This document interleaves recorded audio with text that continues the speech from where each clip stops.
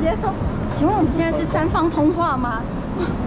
他觉得为什么我我跟仔仔可以一讲一搭，然后跟他讲。我说没有，他真的在我旁边，可能他觉得很清楚吧，不像一个人。没有吧？他不是他，他通常打电话应该是会只有跟一个人，然后怎么会多出一个人在讲话？他以为你是被诈骗的，真的。